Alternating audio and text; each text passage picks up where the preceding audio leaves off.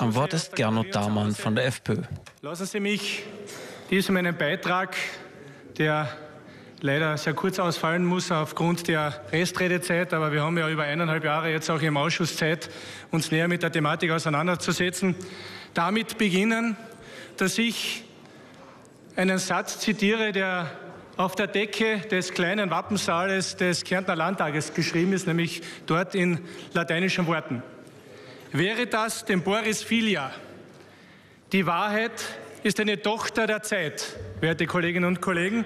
Und andeutungsweise ist diese schreckliche und für den Steuerzahler sündteure Wahrheit bereits insbesondere hinsichtlich der Notverstaatlichung und der Anführungsstrich Notverstaatlichung, ja, aber auch der Folgejahre nach der Verstaatlichung durch den Bericht der GRIS-Kommission auf der einen Seite, aber auch durch den in den Medien bereits veröffentlichten Rohbericht des Bundesrechnungshofes dargelegt und verschriftlicht worden.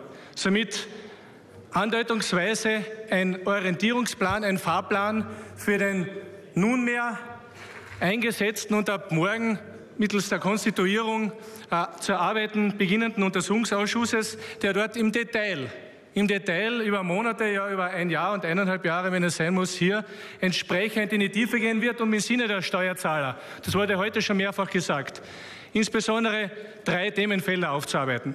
Zum einen wird es darum gehen, das Kontrollversagen des Bundes vor der benannten Verstaatlichung im Jahr 2009 entsprechend aufzuarbeiten. Zum Zweiten, kurz gefasst, die Verstaatlichungsentscheidung und die Nutznießer aus dieser Verstaatlichungsentscheidung herauszuarbeiten. Zum Dritten, die bewusste, ich sage einmal bewusste Arbeitsverweigerung und Entscheidungsverweigerung dieser Bundesregierung nach der Verstaatlichung in den Folgejahren, nach der Verstaatlichung dingfest zu machen, um hier auch herauszuarbeiten, welche Motivationslage hat dazu geführt, dass erst nach der Verstaatlichung durchs Nichtstun noch ein Milliardenschaden für den Steuerzahler entstanden ist, verehrte Damen und Herren. Und äh, wenn wir all diese Punkte betrachten, dann ist das nur deswegen möglich und diese Gelegenheit möchte ich hier und heute nutzen, um noch einmal der Bevölkerung Dank zu sagen. Denn sie war es mit über 200.000 Unterschriften, die es ermöglicht hat, die Verweigerung in über 20 Abstimmungen hier im Nationalrat in den Untersuchungsausschuss einsetzen, nämlich die Verweigerung seitens SP und ÖVP, diesen Untersuchungsausschuss arbeiten zu lassen, doch in den Gang zu bringen.